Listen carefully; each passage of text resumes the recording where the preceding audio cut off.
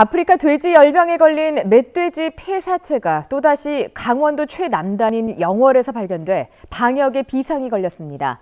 영월에선 아홉 번째, 도내로는 613번째인 이번 폐사체 발견 장소는 영월 주천면 금마리 광역 울타리 밖 300m 지점입니다.